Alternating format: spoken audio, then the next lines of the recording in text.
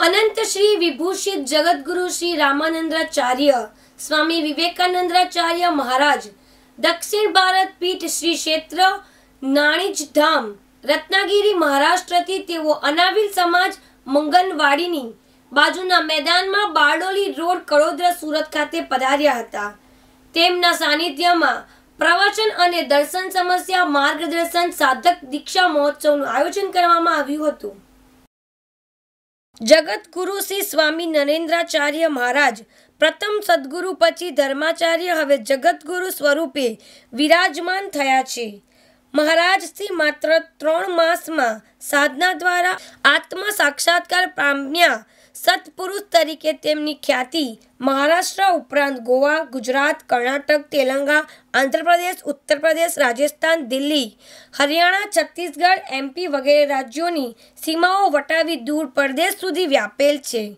જગતગુરુ શ્રી સ્વભાવે મિલનસાર, અભ્યાસુ, દયાળુ, પરોપકારી, ખૂબ જ સમજુ. તેઓ શિસ્તતાના આગ્રહી છે. પોતાના વિચારો કોઈપણ પ્રકારના દબાણને ન ગણકારી, સ્પષ્ટ તેમજ સચોટ રીતે રજૂ કરે છે.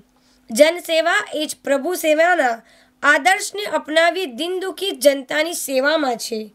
દિવસમાં કોઈ પણ સમયે દસ મિનિટ ભક્તિ કરો. બીજાનું સ્વપ્નમાં પણ બુરું વિચારો નહીં અને તમે જીવો અને બીજાને જીવવામાં સહાયતા કરો. સાંસારિક સમસ્યાઓનો સામનો કરવા માટે ભક્તિ ઉત્સાહનો સંચાર કરે છે.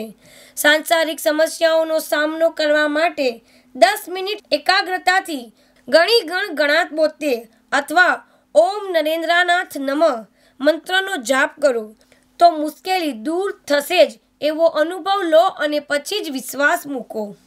મારા શ્રીમંત પ્રમાણે મનને આધ્યાત્મવાદી અને દ્રષ્ટિને વિજ્ઞાવાદી રાખો તો સાંસારિક જીવનમાં સચોટ નિર્ણય લેવાની ક્ષમતા વધશે આધ્યાત્મક અને ભક્તિના માધ્યમથી પરમેશ્વર આપણામાં જ બિરાજમાન છે મહારાજ શ્રી પર સંપૂર્ણ વિશ્વાસ રાખી તેમના ઉદ્દેશ ઉપર આચરણ કરવાથી મનુષ્ય જીવન અધવશ્ય સાર્થક થશે हम जगतगुरु रामानंदाचार्य नरेंद्राचार्य है दक्षिण पीठ के रामानंदाचार्य है हम आज सूरत में आ, लोगों को जो ज़िंदगी में समस्या आते हैं वो हल करने के लिए आ गए हमारा मिशन है कि लोगों ने अंधविश्वास छोड़कर विज्ञान और अध्यात्म का तालमेल डालकर जीना चाहिए।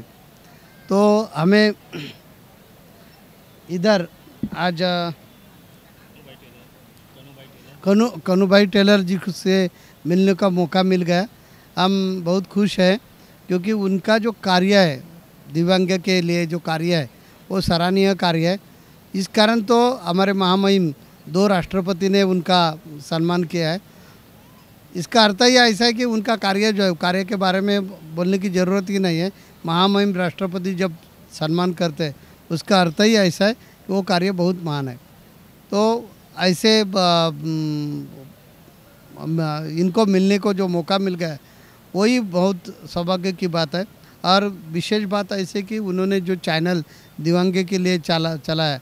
वो भी एक मुझे लगता है कि पूरे विश्व में ये अलग ही प्रकार का मिशन है। तो इसको हमारे हमारे साथ आ, हम बधाई देते हैं और यह कार्य उनके हाथों से और भी होने दो और पूरे विश्व में उनका नाम होने दो।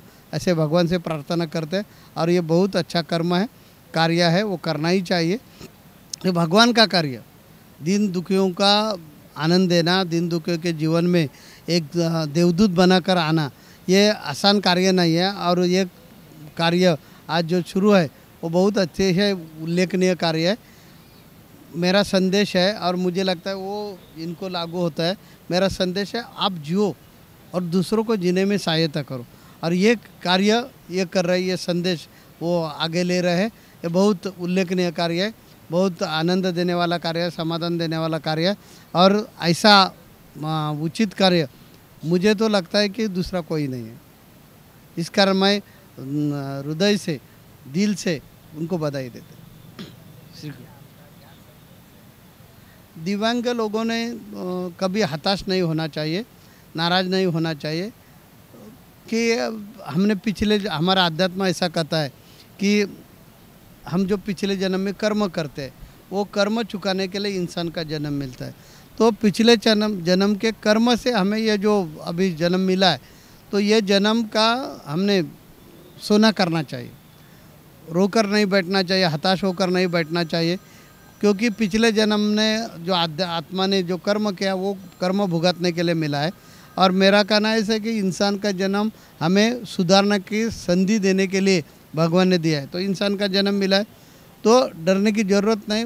जो परिस्थिति है, वो परिस्थिति पर मात कर कर हम भी कुछ कम नहीं है और हम भी कुछ कर सकते हैं। ये दिव्यांग लोगों ने ध्यान में रखना चाहिए। ये जो दिव्यांग यानी इसका अर्थ क्या है कि कुछ अवयव हमारे कमज़ोर है। लेकिन मन से तो हम कमज़ोर नहीं है। तो मन जो है हमारा समृद्ध बनाने का और मन में लाया ना हमने, कुछ भी कर सकते हैं तो कुछ भी कर सकते हैं। ऐसे बहुत ऐसे दिव्यांग लोग हैं कि जो मन का दुबलेपन हटाकर उबर जाता है, आगे आता है, वो कुछ भी कर सकते हैं। तो ये भी लड़के ऐसे करके आपका नाम रोशन करेंगे। ऐसे लोग डॉक्टर बन जाते हैं, शास्त्रज्ञ बन जा जा सकते हैं। कुछ भी समाज में जो नावलौकिक मिलवाने वाले जो लोग हैं, उसमें कहाँ भी जाकर हम बैठ सकते हैं, लेकिन हमारी विल पावर बढ़नी चाहिए।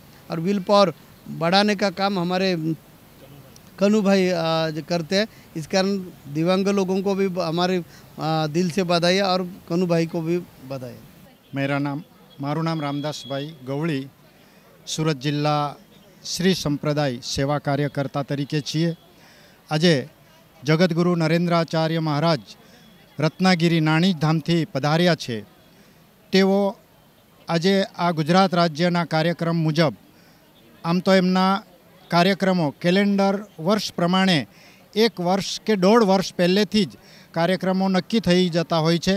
અને જે તારીખ તય થઈ હોય તે તારીખે તેઓ જે તે જિલ્લા રાજ્યમાં કાર્યક્રમો કરે છે.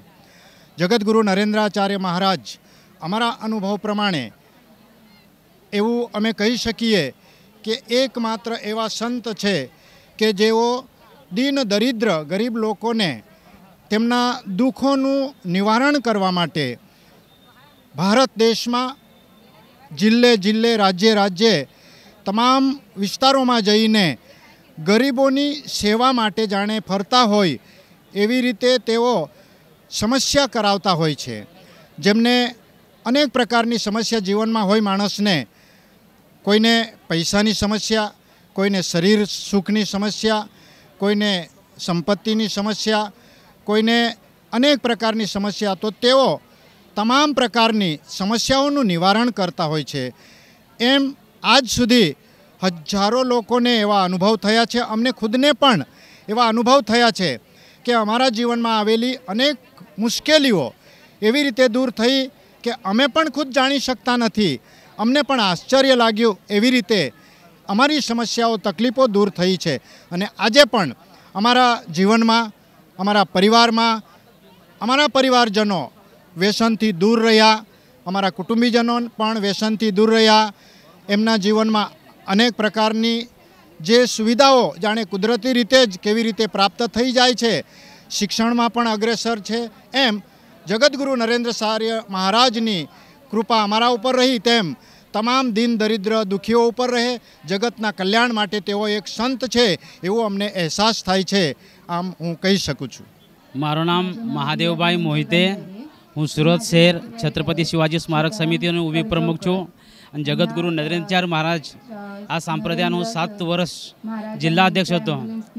પછી જે લોકો આપણો ધર્મ છોડીને બીજા ધર્મમાં ગયા હતા, એ લોકોને ઓછામાં ઓછા સાત હજાર લોકોને સાપુતારા મુકામે અમે આપણે ધર્માંતર કરીને હિન્દુ ધર્મમાં લઈ લીધા છે. આ સ્વામીનું કામ બહુ મોટું છે. એમનું રત્નાગીરી મહારાષ્ટ્ર રાજ્યમાં રત્નાગીરી ગામ છે નાનીસગીરી ગામ છે. ત્યાં મહારાજનું મઠ છે.